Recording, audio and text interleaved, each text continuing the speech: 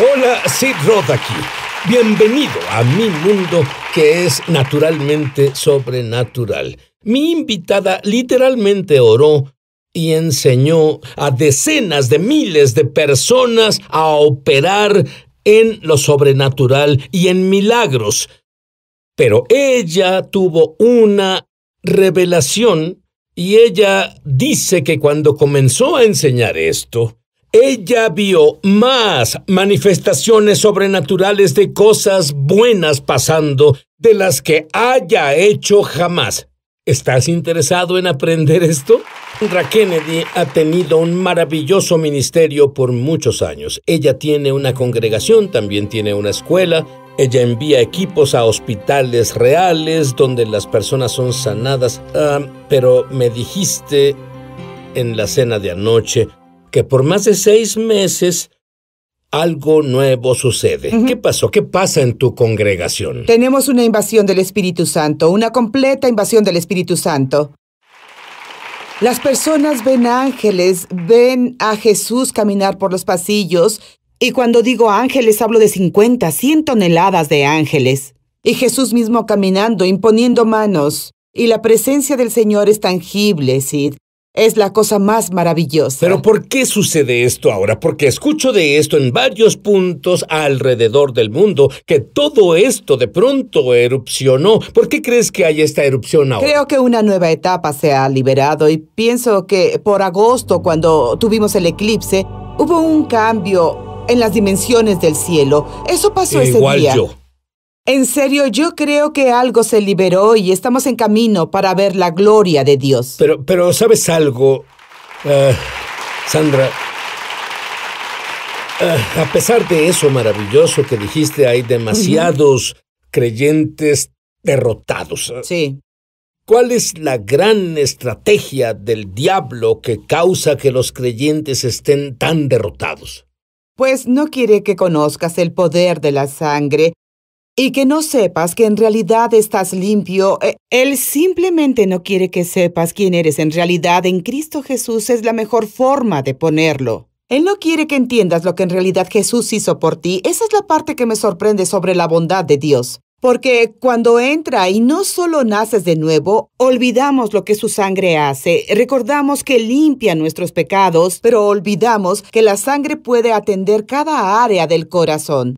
Ahora, Sid, antes de comenzar el pastorado, yo solía trabajar en atención mental y ah, trabajé como terapeuta y tengo un diplomado de seis años eh, en psicología religiosa. Y vi toda clase de personas que afuera, en el mundo incluso, no solo hablo de la iglesia, sino en el mundo con todo tipo de problemas. Me volví pastora y todos en la iglesia tenían los mismos problemas que todo el mundo. Ah, bueno, ah, eso no tenía realmente sentido para mí. Cuando se hacía un llamado al altar, las personas que nos visitaban no podían llegar al altar, pues eran miembros de la iglesia que corrían al frente de nuevo. Y, dije, algo está terriblemente mal. Entonces fue cuando en realidad indagué acerca del poder de la sangre de Jesús y el entendimiento que hay algo que parece una mancha, es bueno, se llama impureza.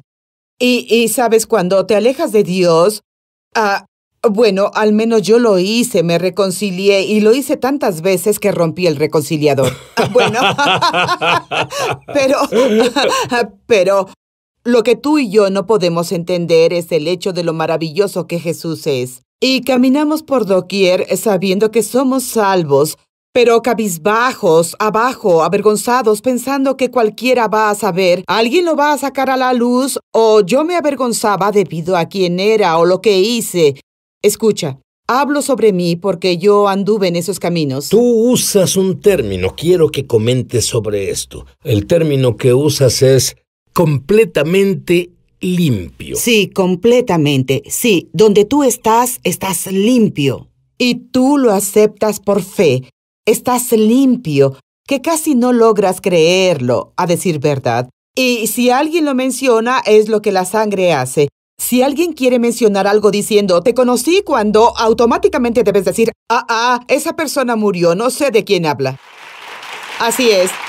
De que hay un lugar y podemos llegar ahí, podemos llegar ahí, podemos llegar. El Señor espera que la iglesia sea el guía en esto. Pues el poder de Dios está dentro de nosotros y el mundo espera que seamos luces brillantes y guiemos a las personas al Señor. Es tiempo de cosechar.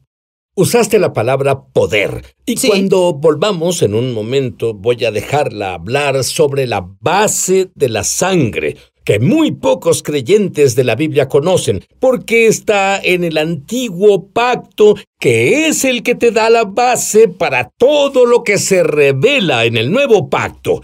Pero hubo un hechicero que fue a tu iglesia. Sí. Y dime sobre cómo Habacuc dice, "Ah, hay una luz, un poder saliendo de las manos. Sí, rayos dime de luz, brevemente, rayos de- luz, Ah, dice. sí, sí. Ah, al concluir el servicio un día me bajé del podio para despedir a la congregación y solo hice mi mano así, justo así. Y cuando lo hice oí, ¡bam! Y no supe qué pasó, continué y concluí el servicio. Al final del servicio, un hombre grande se acercó a mí y entonces dijo, "Ah, ¿con qué me golpeó? O sea, estaba atrás en la iglesia. Y dije, no sé de qué habla. Dijo, cuando movió su dedo, un rayo de luz salió de él y me golpeó directamente en la cabeza y me derribó. Eh, eh, pero hay más Sí, de esa sí historia. lo hay. Y hay más. Y descubrí que era un hechicero. Y le dije todo sobre Jesús. Él no estaba interesado en Jesús, estaba interesado en el poder. Hay alguien en la Biblia que habla de eso. Se interesaba por el poder, pero le dije que era Jesús y me sorprendió más que a él. Claro, bueno, yo, ah, de seguro a ti, te dijeron sobre u oíste de la vez que entré a una reunión un día y había 400 o 500 personas. Ahí subí al escenario y todo lo que hice fue algo así. Y cada persona en el auditorio cayó al piso. Todos en el escenario cayeron al piso. Todos en el piano cayeron al piso. Soy la única persona aquí de pie. ¿Y sabes qué hice? Caí al piso. Te diré que cuando ella explica esta revelación de la sangre que no puedes entender si no conoces el antiguo pacto. Ni siquiera me gusta el nombre antiguo pacto porque es No. la base, yo lo llamaría. Bueno, voy a inventar un nuevo nombre para el antiguo pacto. ¿Qué tal el libro base? Sí, Me gusta eso. Cuando volvamos, ella nos dirá sobre el libro base que causará que la sangre de Jesús te, te dé la revelación y protección y sanidad y libertad como nunca las Es sobrenatural. Ahora, Sandra, quiero que nos enseñes la revelación que Dios te mostró sobre la sangre de Jesús, comenzando con la base, que si no conoces el libro base, mejor conocido como el Antiguo Testamento, no hay forma de que entiendas el nuevo pacto. Dime sobre la base. he enseñado sanidad por años y años y años, pero me quedé en una escritura en el Nuevo Testamento que dice que Jesús vino a cumplir el Antiguo Testamento. Y entonces me puse a pensar, pues si Él cumplió el Antiguo Testamento, entonces debo saber que cumplió, porque si Él cumplió, puedo, lo tengo, es mío. Comencé a ojearlo y leer en particular sobre el poder de la sangre y comencé a descubrir que lo- los sacerdotes y el poder que tenían y cómo podían lavarse en la sangre en la mañana y la tarde y eliminar cualquier pecado, cualquier cosa, e incluso podías tomarlo y aplicarlo a otras personas. Y, y- y siendo sacerdote, podías aplicarlo hacia ellos. Sí, pero ellos eran sacerdotes. Soy sacerdotisa. Pensé que eras mujer. Sé que pensaste equivocado. eres una sacerdotisa porque el nuevo Amén. pacto dice que lo eres. Absolutamente. Y eso es suficiente para mí. Absolutamente, absolutamente. Y cuando uh, uh, la Biblia dice que las personas perecen por falta de conocimiento. Y sabes que incluso iban con los sacerdotes, iban para la- limpiarse de la lepra. ¿Sí? Así que eran, de hecho, se involucraban en el perdón Sí. y en la sanidad. Sí. Bueno, los sacerdotes en realidad eran guardianes. Descubrí de la salud de la comunidad. Y pensé, santo cielo, somos guardianes. Por supuesto tiene mucho que ver, sabes, con la sanidad. Somos guardianes de la sanidad de la iglesia, de nuestra área, de la familia. Si solo sabemos cómo aplicar la sangre y hacer sacrificios en la mañana y tarde, dice háganlo continuamente. Y ya hablamos de las manos y los rayos de luz Sí. que salen. Ah, cuando tienes rayos de luz, yo descubrí que durante la alabanza y la adoración, cuando levantan las manos, si los creyentes entendieran y creyeran y comenzaran a levantar sus manos y usaran sus manos como rayos de luz, dividirían las tinieblas y aclararían el área sobre ti para tener un espacio cristalino al cielo. ¡Qué, eh, qué maravillosa forma de comenzar tu oración! Cuando enseñaste esta revelación en tu iglesia. ¿qué efecto tuvo? Lo, principal que hizo, cada área de la vida de alguien fue tocada. Eso fue asombroso para mí. Ah, tomamos, hicimos una pequeña encuesta solo con 100 personas, pero lo hicimos. Aún así, íbamos a diferentes lugares a lavar las áreas. Ah, como en tu casa, lavarte en la sangre, a tu esposo en la sangre, a tus hijos en la sangre, si no tienes, entonces a tu perro. Lo que necesite ser calmado. Aleluya. Conozco unos perros que También yo, necesitan ser lavados yo, en la es sangre. cierto. Lávalos en tu oficina, lava el área, en serio, lávalo en la sangre de Jesús. Y, y, y lo hicimos por dos semanas seguidas. Y después de dos semanas, el 85% del 80 al 85%.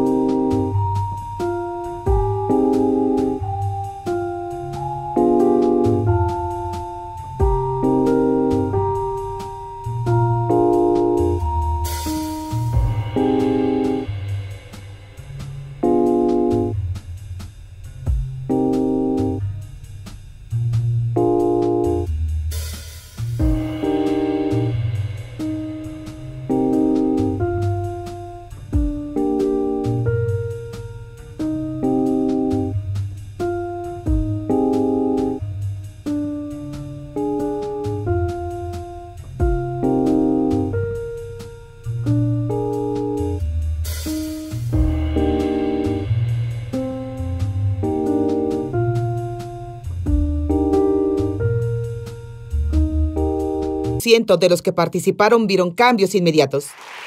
Eso es muy, Sí, muy sí, asombroso. lo es.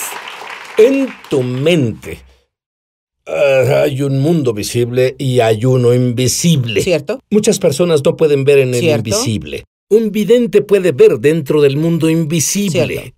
Pero, ¿qué es lo que pasa en el mundo invisible cuando tú te pones a hablar de la sangre de Jesús? ¿Qué pasa que no vemos con los ojos? Los demonios llaman al 911.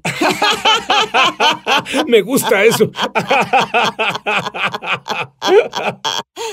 Salen corriendo en todas direcciones porque no hay nada. Tienen miedo del poder de la sangre y al nombre de Jesús le temen. Ahora, cuando los demonios corren Sí, y, y no los vemos correr, Cierto. si nos pueden convencer de que nada pasó, dejamos de hablar de la sangre. E- Ese es su trabajo, alejarnos de la verdad sobre la sangre. Y si te alejas de la verdad, vuelves sintiéndote culpable, manchado, algo está mal en ti, quieres huir, ah, ah, ah, ya sabes, caminas bajo una sombra, por así decirlo, y, y te sientes impuro. La palabra es profano, te sientes profanado. Hay 16 nombres para profanado en la Biblia, pero el que en realidad importa aquí es estar profanado significa ser común. No somos comunes, porque somos peculiares. No somos comunes y luego ah, te sientes sucio, te sientes herido y te sientes manchado. Y esas son las cosas que hace que los cristianos no salgan y sean quien deben ser y lavarlos en la sangre elimina todo eso si dejas de hacerlo. Esas cuatro cosas en particular te hacen ser debilucho y actuar como la cola en vez de la cabeza. Caes en esa categoría cuando evitas usar el poder que Dios te ha dado el poder de Dios ordenado y puesto dentro de ti cuando naciste de nuevo está en ti listo para ser usado, así podrás operar en la gloria de Dios. Ahora, tú dijiste que los sacerdotes en el antiguo pacto am, se lavaban dos veces al día. Sé que tú haces esto. Quiero saber exactamente cómo es que lo haces cuando volvamos. Y quiero saber del gemelo de la expiación del pecado, del perdón del pecado. Quiero saber de la misma sangre cómo opera eso en la sanidad. Volveremos. Tú tuviste una conversación con el Señor sobre sanidad. Sí. Y Él te respondió. ¿Qué te dijo? Bueno, conversaba de que no obtenía mi sanidad como yo quería y, comencé a decir, bueno, el diablo dijo, tú no mereces esto, como lo hace con todos, tú no mereces esto, bla, bla, bla, bla. Y luego yo le dije esto al Señor y él me respondió, pero mi sangre se encargó de eso. Y ah, ah, nombraba algo más, pero mi sangre se encargó de eso. Y nombré algo más, pero mi sangre se encargó de eso. Y si lo que... Y luego comencé a nombrar lo que las personas en la iglesia me dijeron. De por qué no podían sanar o por qué las cosas pasaban así y Dios es mi testigo eterno. La gloria de Dios vino a mis escaleras y, y todo lo que dije, Él respondió, pero mi sangre se encargó de eso, pero mi sangre se encargó de eso. No hubo algo. ¿Sabes cuando tú dices esa, esa frase? Cuando ella dice, pero mi sangre se encargó de eso. Puedo sentir no, no siento la luz, siento rayos de sanidad saliendo cada vez que lo dices. Pero mi sangre se encargó de eso. Digámoslo juntos. Pero mi sangre se encargó de eso. Se encargó de eso. Mm. Es una afirmación poderosa que significa que nadie puede venir a ti con, con algo que oyeron del, del infierno que no podían curarse. Nada, nada, pero mi sangre se encargó de eso, mi sangre se encargó de eso. No importa por lo que alguien pase, no importa lo que es, no importa si son problemas familiares, no importa si es una enfermedad o en el hecho de muerte, pero mi sangre se encargó de toda enfermedad, cada mal. Y siempre pensamos, gracias Dios porque se encargó de los pecados, alabado el nombre del Señor, aleluya. Pero Él también la sangre en el poste de flagelación, la sangre, heridas salieron en el poste de los azotes, sangre salió de las heridas. Entonces me dices que cada creyente que esté convencido que debido a la resurrección y al derramamiento de sangre de Jesús, sus pecados fueron perdonados, debe estar tan convencido que por su sangre ha sanado. Sí, Sí, sí. ocurrió, ocurrió al mismo tiempo. Muéstrame muy brevemente ¿Qué haces? ¿Cómo oras la sangre cada mañana y cada tarde en tu hogar para ti cuando nadie está ahí más que tú y Dios? Bien, como si tomara un baño.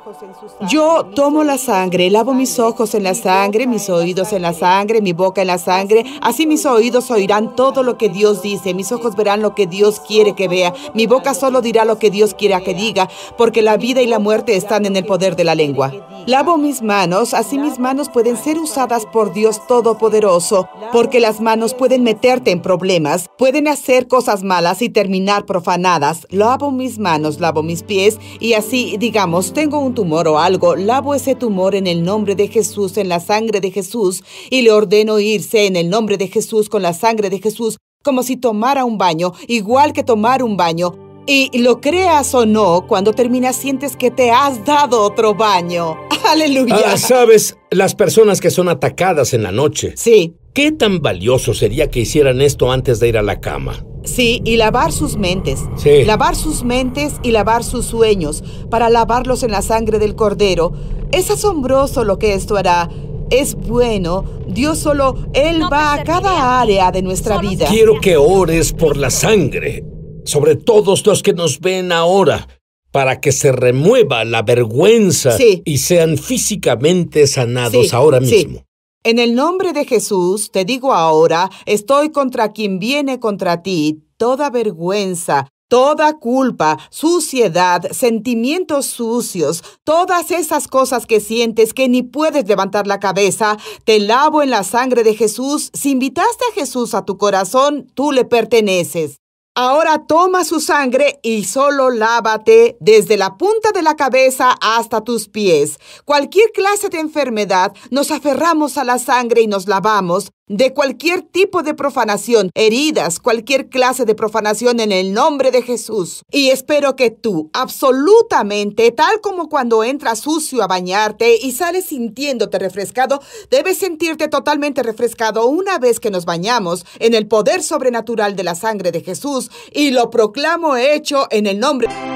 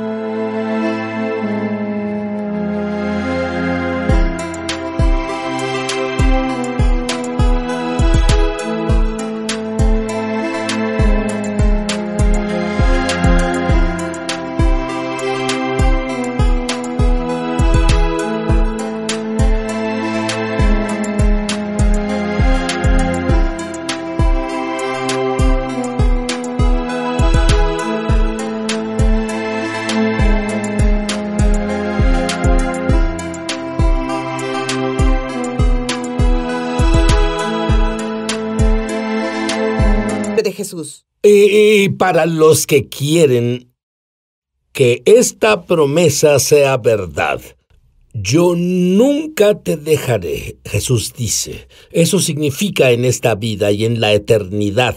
¿Quieres vivir esta vida sin conocer a Dios, sin tener conocimiento vivencial de Dios? ¿Quieres tener tu propio conocimiento vivencial? Abre la puerta. Pide a Jesús perdón por tus errores, llamados pecados, y cree que la sangre los eliminó ya y que Él no los recuerda más. Luego, cuando estés limpio, pide a Jesús que viva dentro de ti y sea tu Señor. Haz eso, y tú y yo estaremos juntos en la eternidad.